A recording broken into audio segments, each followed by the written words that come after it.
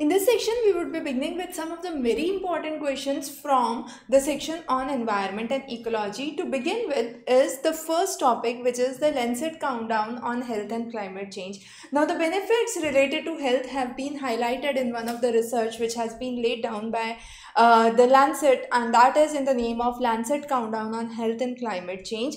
Uh, in the cases, the countries are ready to adopt the various climate plans with an idea of keeping the global levels of temperature below 2 degrees Celsius as has been proposed under the Paris Agreement. Now, this report says what can be the benefit and how it would be affecting. So, the countries which represent 50% of the world population along with 70% of the emissions are the countries like India, Brazil, Germany, Indonesia and so on. And these countries need to adhere to these commitments in order to save the life of the people.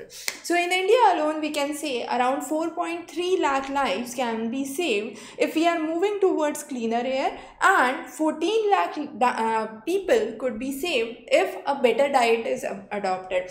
So therefore, these methods have been very very important for changing the life of the common people. Now under the Paris Agreement as we have been uh, focusing on maintaining the temperature below 2 degrees Celsius as compared to the pre-industrial levels have been uh, limited to 1.5 degrees Celsius. So moving from 2 degree to 1.5 degrees Celsius and Many of the countries have committed towards bringing the global emissions below. More than 180 countries have pledged together to reduce the carbon emissions through the intentionally uh, nationally determined goals that have been uh, laid down which are in the name of INDCs and these are not legally binding.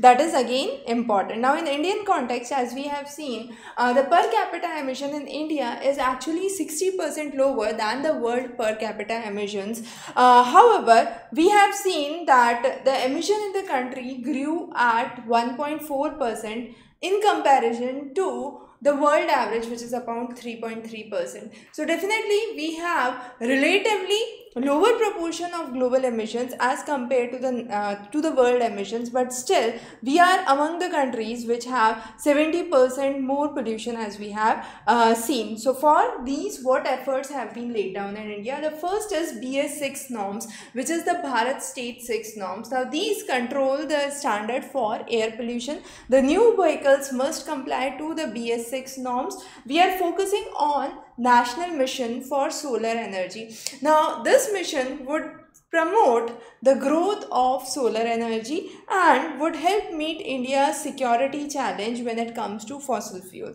The next is a hybrid model which would be a wind solar hybrid project as laid down in 2018 and this would be a interconnected grids where wind and photovoltaic cells would be used for optimal utilization of wind and solar energy. The next is Mission Innovation 2.0. Now this is the second phase of Mission Innovation and hence named as Mission Innovation 2.2 and uh, 2.0, 2.0 the next uh, important idea is this is an initiative of 24 nations along with European Union and includes India which have an idea for clean global energy innovation mission and all the members which are part of it aim to double the clean energy innovation investment in next 5 years. So they would select the priority and would work for the next 5 years to move towards clean energy and this objective would be laid down in a PPP basis where public sector, private sector would be involved together and along with this international collaborations would be taken into account. So under this there are 8 challenges which have been mentioned. These are IC1 to IC8 and focuses on the type of innovations. Now this are mainly related to uh, clean energy, smart grids, we have off-grid access to electricity, renewable and clean hydrogen uh, sources and so on. So all these eight have been cited down very very important. The idea is to accelerate innovation in these fields and bring in EdPAR technology which could uh, actually start up the process of generating cleaner energy at a faster pace. Now, besides this, there have been other policies as well. For example, the solar mission, which we have already talked about, the wind solar hybrid mission that we have already discussed. Then we also have a Clean Energy International Incubation Center, which has been developed with the uh, help of Department of Biotechnology India. Ujjwala Yojana, where we have been focusing on moving towards LPG cylinders from the uh, the logs that have been used for cooking purpose. The 2018 biofuel policy which talks about blended ethanol. So we would be blending 20% ethanol and 5% biodiesel by 2030. So that is one of the important ideas. Now the next is the discovery and the sighting of mandarin ducks in the region of Arunachal Pradesh after a period of 100 years or a century. And this, uh, sorry, not in Arunachal Pradesh, in Assam's Tinsukia region. Now this mandarin duck have been sighted in the Maguri uh, Motapung Beel area.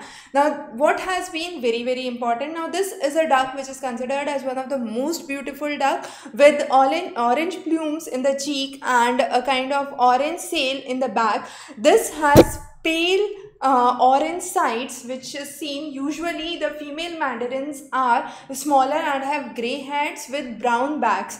Uh, now these mainly reside in the temperate climatic conditions mainly native to east asia. As the name suggests mandarin so china uh, is one of the areas where it also breeds. So china russia uh, korea is some of the areas along with northeast uh, parts of the world where Commonly, mandarin ducks are seen.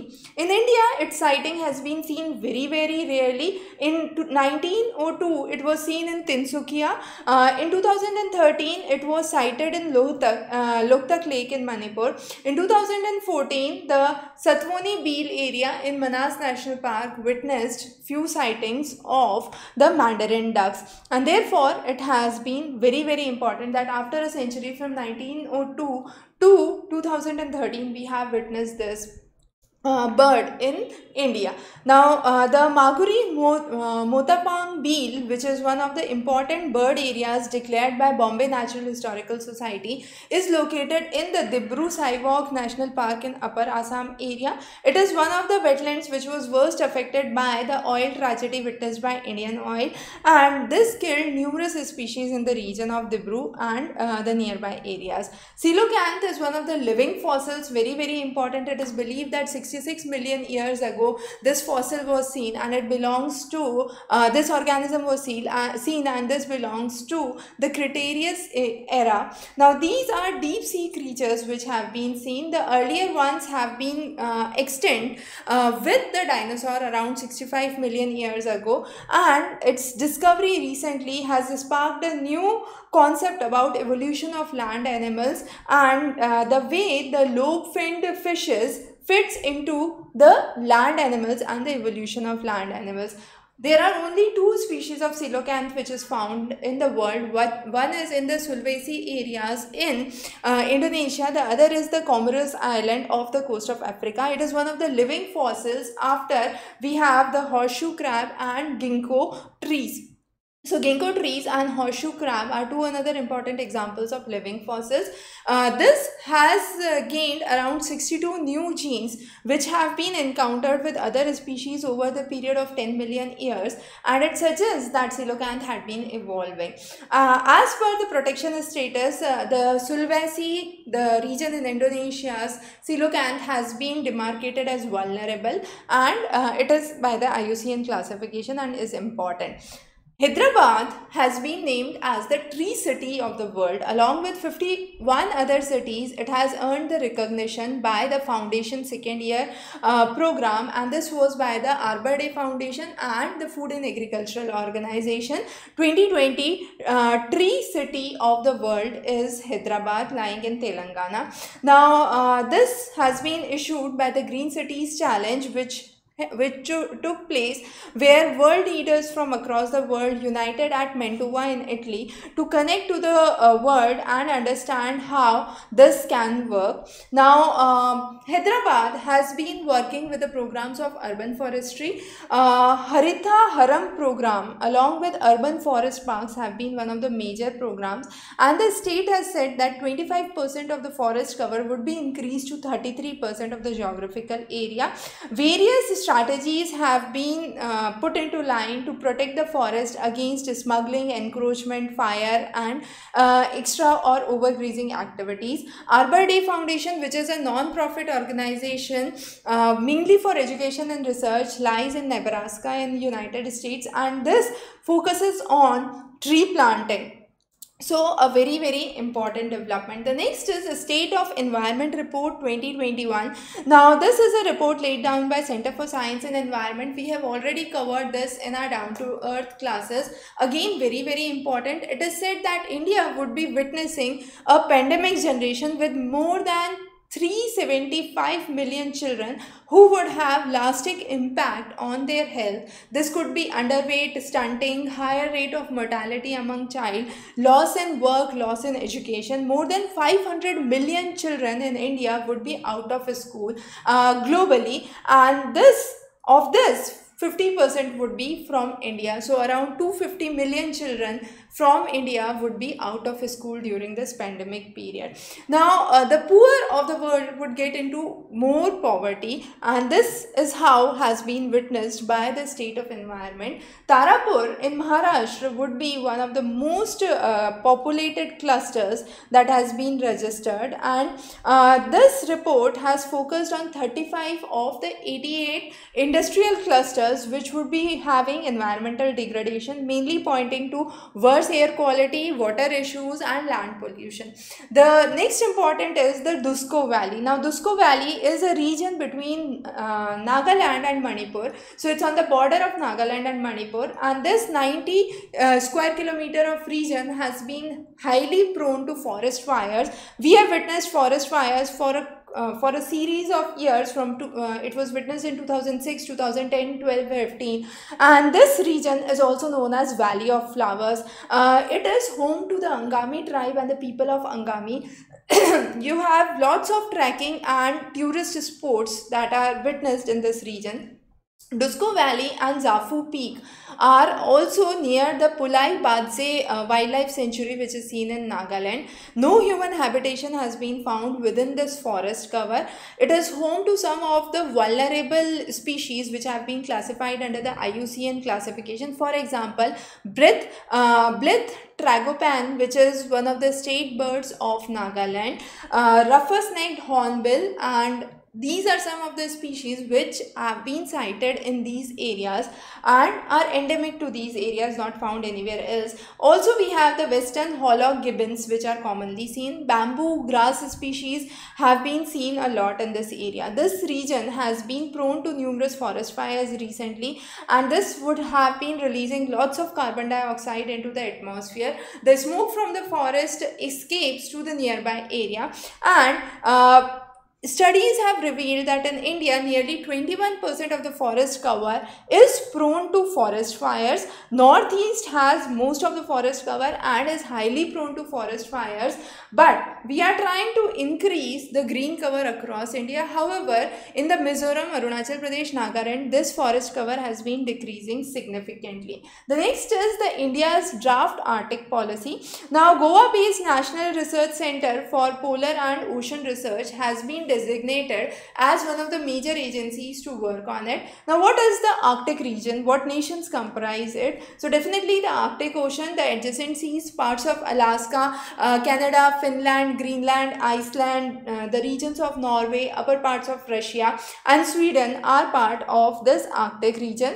The idea of this Arctic policy is threefold. First is to promote tourism, promote explorations and do scientific study of the Arctic areas uh, to see the impact of deteriorating tundra region, rising levels of sea which can be a threat to biodiversity and uh, extinction of the indigenous cultures present in those areas. Now for this there have been uh, lots of uh, effort going on. And lots of commercial navigation has also started. The northern sea route which is one of the shipping lanes connecting the north atlantic to the north pacific is through the short polar arc. And this sea route is 40% shorter than the Suez canal and therefore has been one of the major pathways for uh, movement Nearly 22% of the unexplored resources of the world are present in Arctic region. So therefore there has been uh, a constant search about the resources which are present in Arctic.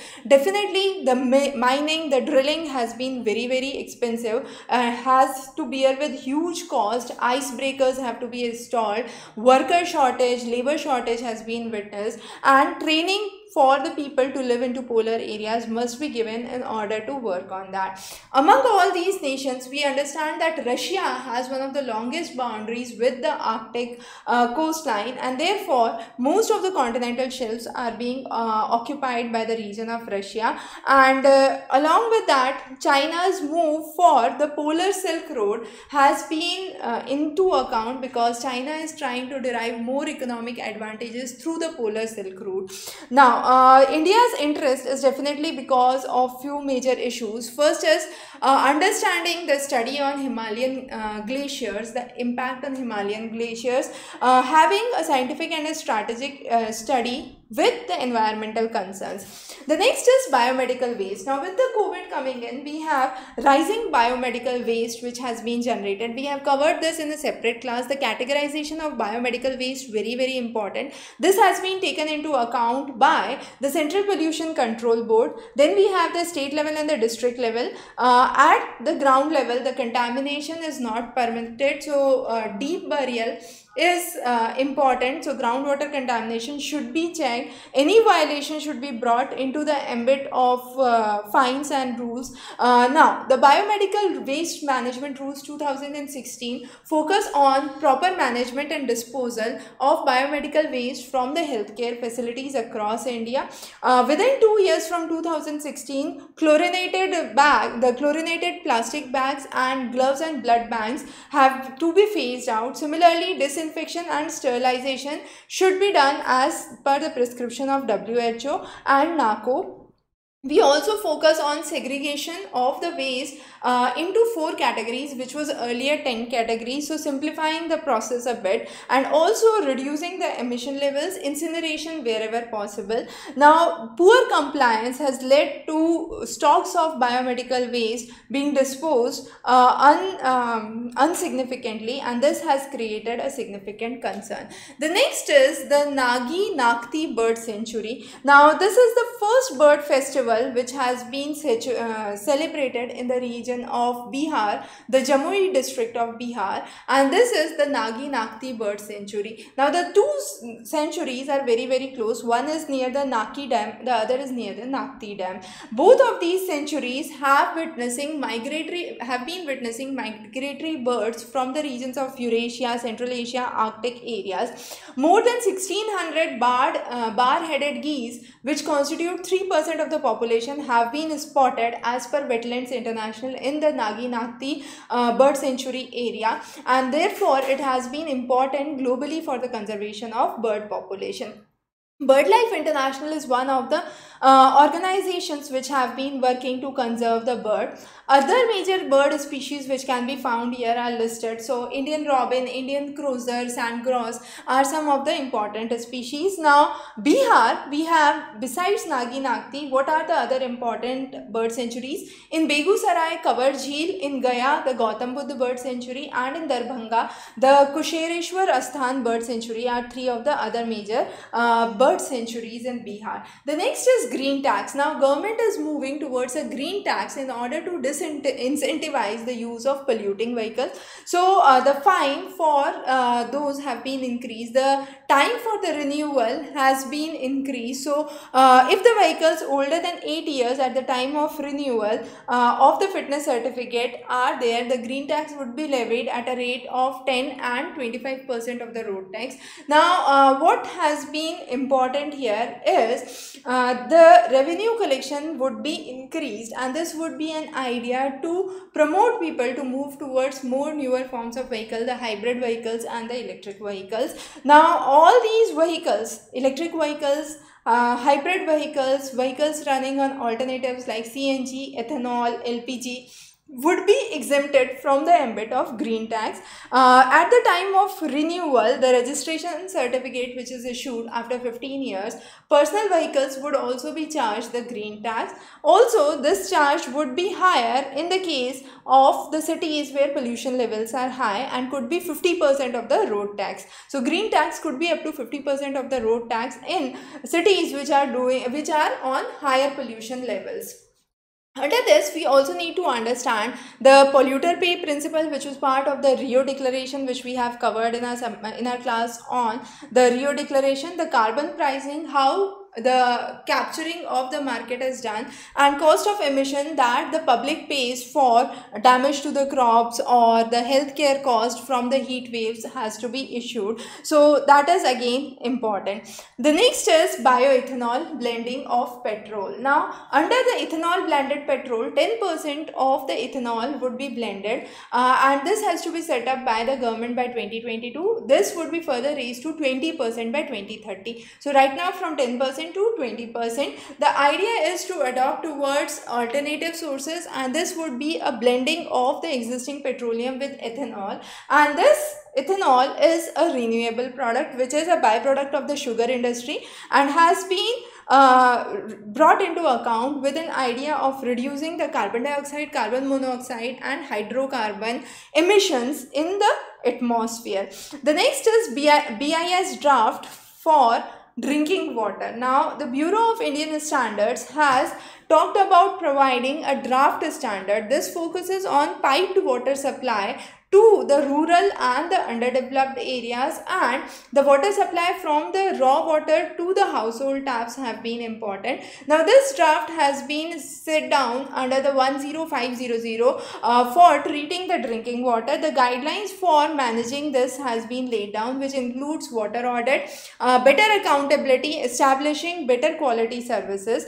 Uh, the next is a early galaxy which has been detected by ASTROSAT and this is one of the earliest galaxies which is known as AUDF-S01. This has been dis uh, discovered by the scientists from the University Center of Astronomy and Astrophysics using ASTROSAT. Uh, this has been through the Hubble Extreme Deep Field Explorations and is around uh, 9.3 billion light years away. Scientists from India, Switzerland, Japan, France and Netherlands have been working together. It was first discovered by Ultraviolet Imaging Telescope on ASTROSAT and the extreme ultraviolet light uh, from the galaxy was detected due to the background noise in the detector which was less than the usual uh, Hubble space detectors. And this was the way this uh, this um, this was discovered. Now astrosat what is astrosat? The idea of astrosat has been laid down by irs uh, and this has been launched with pslv uh, isro from the Satish Dhawan uh, Center, Space Center at Sriharikota. It is the first India's astronomy uh, mission which has been dedicated to study the celestial objects in the optical, ultraviolet and X-ray spectral bands and therefore has been strategically important for India. Now add the ISRO telemetry uh, tracking and command network located in Bangalore. The ground command and the control center for the Astrosat is located. Uh, the Hubble Extreme Deep Field has uh, that portion of space which covers more than 5500 galaxies and where this has been detected. And the Hubble Space Telescope which is a low earth orbit has been into action since 1990 and it is one of the most largest and versatile telescopes so far being made. The next is plastic pollution in the marine areas which has been significantly higher. Three types of plastic, polyethylene, polystyrene and polypropylene have been commonly witnessed mainly for packaging purpose and it is believed that atlantic ocean has around 0.3 to 0.8 percent of the global plastic waste for last 65 years. Atlantic water can have around 17 to 47 million tons of plastic waste which has been produced in the last 50 to 60 years. Oh, uh, it is believed that every year nearly 300 million tons of plastic is produced and half of that is designed as a single use plastic which is basically use and throw plastic. 8 8 million plastic 8 million tons of plastic is seen in the oceans being dumped every year as per the IUCN and this is significantly affecting the marine habitat affecting the tourism and bringing in climate change because a lot of plastic is being incinerated. Now plastic waste when incinerated releases carbon dioxide into the atmosphere and further increases the carbon emissions. Now when we focus on the marine plastic pollution what are the major sources? Definitely the overflows flows from the water, the land-based uh, surface flows, illegal construction, illegal dumping, industrial activities uh, are some of the reasons which have been increasing the use of uh, the throw the amount of plastic in the marine areas. Now in India, since 2019, we have brought a ban on the import of solid plastic waste. Also, we are dedicated to eliminate the single-use plastic by 2022. So, plastic manufacturers need to move from a single-use plastic to the increasing the thickness of the plastic. The next is Bhagirathi Eco-Sensitive Zone. Now, this is one of the plants which has been approved by the Ministry of Environment, Forest and uh, Climate Change and this is also a way for faster execution of the Char Dham Road project. Now, this Char Dham Road project would be connecting the four areas. The idea is declaring the watershed which is along the stretch of Bhagirathi from Gaumukh to Uttarkashi as an eco-sensitive zone and these are to be protected from any form of industrial pollution, industrial uh, clustering, any form of unregulated development and the local requirement of the people should be given priorities. So zonal master map should be prepared and this should be in accordance to the forest area, to the watershed management, the irrigation and the energy supplies in this area. Now the Char Dham project consists of providing all weather connectivity to four places which is Gangotri, Yamunotri, Kedarnath and Badrinath. It consists of 53 projects and 800 uh, plus kilometers of length uh, which would be constructed and Bhagirathi is considered one of the primary source to Ganga. So along the Bhagirathi, the development has been important. The next is development of Kurma app. Now this is an app which has been launched on the World Turtle Day 23rd May and the idea is to conserve turtles. Now Indian Turtle Conservation Network has been working in partnership with the Turtle Survival Alliance India and uh, the Worldwide Conservation Society of India. The uh, the app would bring in a digital field guide for 29 states where freshwater turtles and tortoise have been found, their identification, their distribution, their names and the threat levels for each of those. Uh, every year at least 11,000 tortoise fall play, prey to poaching and smuggling activities and around 1 lakh turtles have been poached in last decade. So definitely uh, identifying the species and conserving them becomes a challenge. So this Kurma app would be an effort in this direction. The next is aerial seeding. Now aerial seeding is an idea to improve the green cover. How? The, uh, the compost, clay and seeds would be in the form of a bomb which would be thrown from the aircrafts and this would help in the seeding. So this is known as the aerial seeding. Now the vehicles that could be employed could be helicopters, drones, planes or any aerial device that can be used. And this mixture of clay, compost, car and the seed is an important way of increasing the forest cover specifically in the areas which are inaccessible, which have steep slopes, uh, do not have any well-defined roads or routes where uh, people can go. So this technique technique is known as fire and forget. That means you just drop it and forget it. Over the years, there would be uh, the growth of the plantation which would be witnessed and there is no need for plowing that could be seen. Also, the clay shell which is being um, made outside the seed would be effective in protecting the seeds against uh, birds, ants or rats. So that is one of the ways of increasing the forest cover. The next is in Assam we have been witnessing the floods and Kaziranga's ecosystem has been eh, affected by each of the flood witnessed every year. Now what are the causes of the floods? First of all the ill-maintained poorly constructed embankments along the river.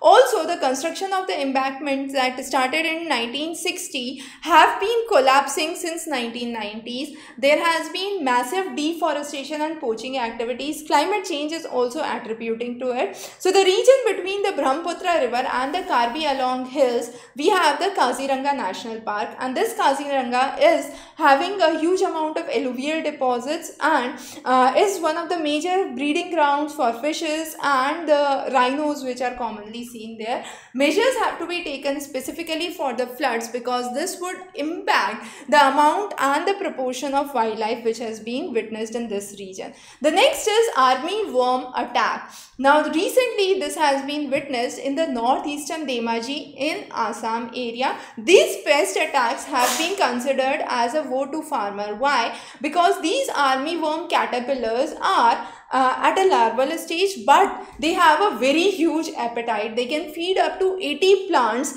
uh, and therefore can destroy huge crops at a go. Now what happened during the COVID period, during the lockdown period, there was less uh, awareness to the farmers and even lot of them could not uh, visit their farms and as a result a lot of vegetation was destroyed because of the army worm attack. Uh, the scientific name of this species is uh, Spodoptera and it is also known as fall army worm. It is a kind of insect which can grow rapidly, has a huge intake, a huge diet and is a high threat to food security issues in India. So working on the armyworm threat is very very important. The next is the Agasthyavanam Biological Park. Now this biological park is uh, basically a wildlife park which was established in Kerala in 1997 uh, located near Trivandrum, uh, the capital of Kerala. This park has been named after Agasthyamala peak and therefore has been important. Nearly 23 square kilometers of the area and numerous species which are totally endemic to this area have been found. It is one of the southernmost parts of the Western Ghat extension and has numerous peaks. The forest area is very very unique. Uh, most of the tropical forests fall from Tirunelveli to the Kanyakumari districts and therefore uh, this region has a huge different natural uh, regeneration process that has been witnessed. Numerous medicinal plants have been found in the Agasthyamala region. So a very very important important uh, important region from the point of uh, strategic uh, from the point of view of the the unique flora that is found in this region specifically the medicinal therapies. So this was about the environment and ecology section. We would be covering many more topics and in environment and ecology. So stay tuned for updates from our side. Have a wonderful day